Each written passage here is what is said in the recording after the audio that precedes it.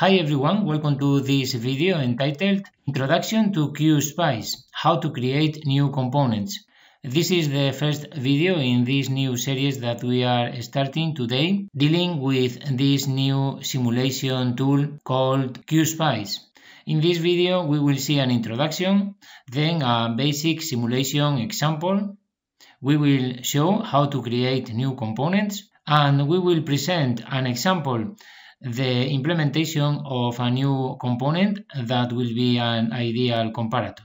So QSpice is the new simulator for electrical and electronics circuits. It has been developed by Mike Engelhardt, the creator of LTSpice, and in this case was developed for this company, Qorvo.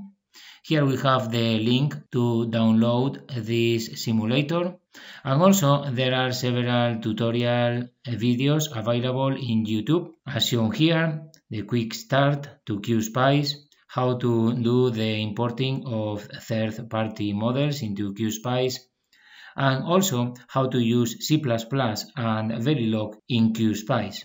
And for me, this is the important characteristic, the important feature of this new simulator. I think that this is a winner and this is the reason why this new simulator could become the next generation of SPICE-based simulators. The use of C++-based modules is very interesting Today, the power electronics industry is becoming more and more based on digital implementations. So this is really interesting because we can do the simulation, including the code that we are going to use in our microcontroller or DSP to control the power converter. So in this video, we are going to see a little bit how to use this program I'm not going to go into the basic because you can consult this in these videos. So what we are going to do is to see a little bit how the program works and also how to implement components in the program because I think this is the basics. And with this, we will be able to do everything as we have done previously in LTSpice. Today we are not going to deal with the implementation of C++ modules, but we will work on this in future videos. So here we have an example of simulation. It's a buck converter that we have used in previous uh, videos. So we have the different components. This is the voltage to drive the, the switch. So here we have the definition to create the PWM signal. As we can see in this program, it's much easier to do the definitions of the voltages and so on. We don't need parentheses, we don't need curly brackets. So everything is uh, more friendly. So we have here the definition for the simulation. So now we only have to run the simulation and see the results. I usually do like this to have both and then we can see here the schematic and in this part we can do the plotting of the different waveforms for example if we want to see the output voltage we only have to go here and click on the wire. So this is the output voltage. We can add a new window to see other things. For example the current through the inductor. We only have to go and hover on the inductor. So Clicking on it, we get the current waveform. And we can add more windows and see, for example, the gate to source voltage. So we can press here and maybe we can modify this to show VGS so this is the signal and so on. So we can see that is uh, very simple to use, very similar to LTSpice. We can use parameters to do the different definitions of the waveforms and so on. So if we have used LTSpice, it's really simple to use QSpice. It's uh, basically the same and with some simplifications on the definitions and also with different handling of the uh, drawing and so on. But basically, it's very similar. So now we are going to see how to create a new component. We are going to see how to create a comparator, an ideal comparator, so we can implement a PWM based on a sawtooth waveform. So we can do the closed loop simulation of the converter using this comparator and so on. So we have seen previously in this video LTSpice number 5 how to implement ideal comparators. So this is the component that we are going to implement. It's a comparator, we have the non-inverting input, the inverting input and the output. We have two parameters to select the high value and the low value. And this is the definition that we have for this component. We have included the input resistances at the inputs and between the inputs. So this is the basic implementation using the if function as we have seen in this previous video. So the first thing that we are going to do is to create a folder in which we are going to store our library and our new components. For example, we can do this very conveniently in this folder in Documents, QSpice. We can create this folder, My Library, and in this folder we are going to create one text file that is going to include all the spice models that we are going to create. For example, we can name this file as mylibrary.lib and then also in this folder, we are going to have one file for each symbol. For example, for our comparator, we will have this file, which is comparator.qsym. And in this file, we will have the drawing of the symbol. So let's see this very quickly. Here we have this uh, folder, documents, QSpice, and I have created here the folder, my library. If we go inside, I have here already the text file, my library.lib, and if I open it, then we can see the definition for the ideal comparator here, and we can add more components below if we want, so we can have all the components in the same file. I think this is the best way to do it. Now to create the symbol, we open the program and then go to File, New and New Symbol. So here we have the symbol editor and here we can start doing the drawing by placing the different elements, lines, pins, text and so on. But I think that the easiest way is to open the definition of our component in Spice so we can copy it with Control C and then go back to the program and do Control V. So we can do an auto generation of the symbol. We have this question here, shall a symbol be generated for this subcircuit? So we say yes and then here we have a basic drawing of our component. So now we have the pins and everything, but we don't want a block, so we can remove the, the block and do the drawing. Maybe we can move this and place this here. So, and this one is going to be maybe here and this other one here. We can move this this way. And now do the drawing.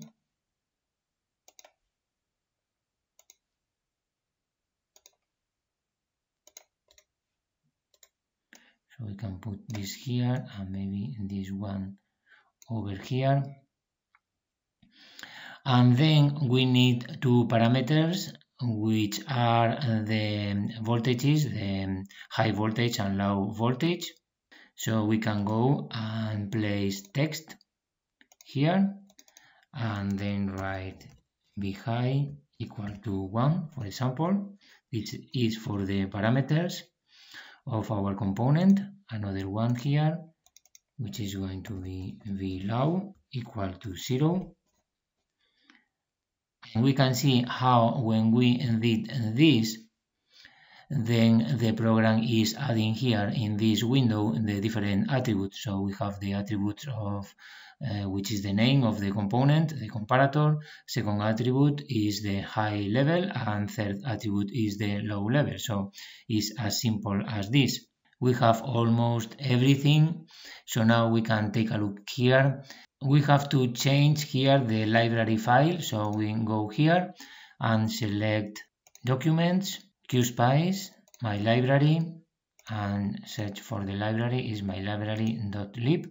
So here we have now very clearly where is going to be the file in which is the definition of our component. So this is very, very good, very clear. Maybe we can remove the automatic description and add here comparator. And now imagine that we don't want to see this um, label here out. We want to make it invisible.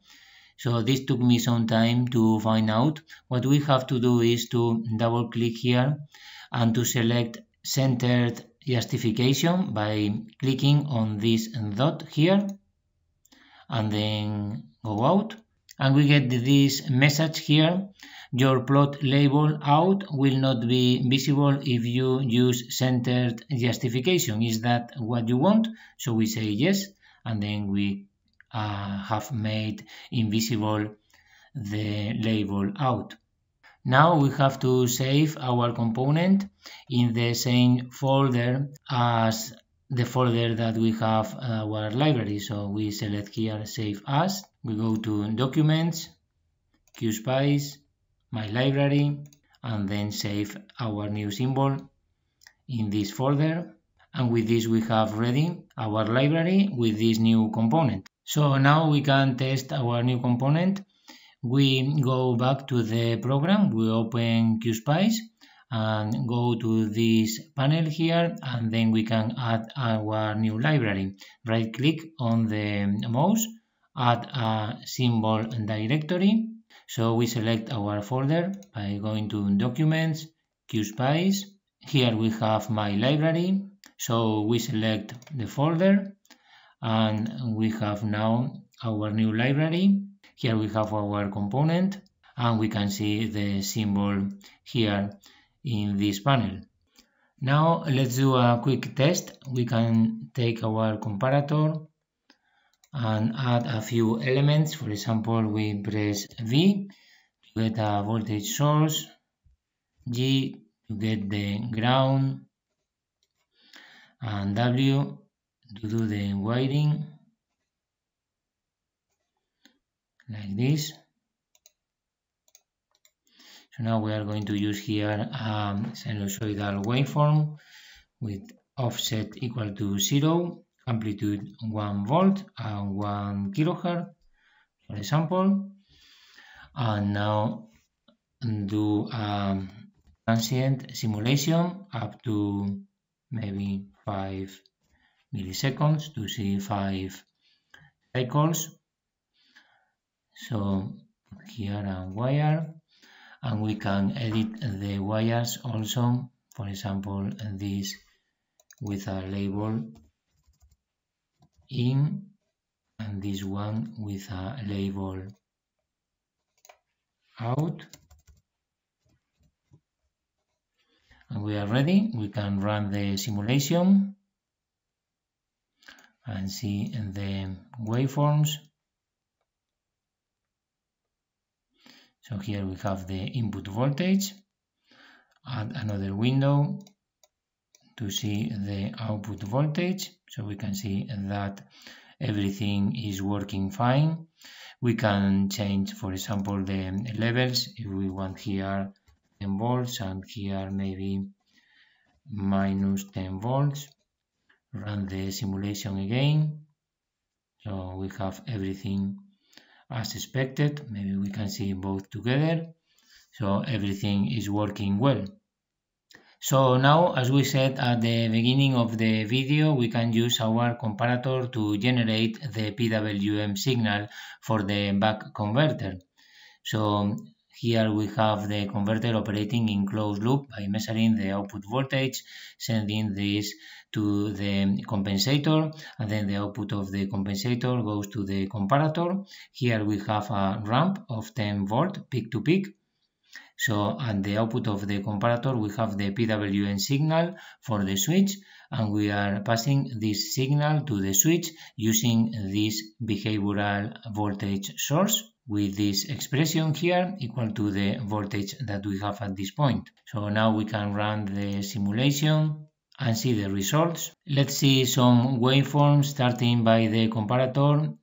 Uh, here we have the, the ramp. So this is the waveform in green. This is the output. Maybe we can add another window and see below the output of the comparator, which is the PWM waveform for the switch. So we can see that everything is fine. Maybe we can do a zoom and see uh, better the waveforms and maybe we can add another window do a fit and then see the output voltage so we have here an output of 5 volts we can use the cursor if we want by double clicking here and then we can measure the output voltage we can see also the current through the inductor and so on as usual, if you want to save time, you can go to my website. This is the link in the section corresponding to resources.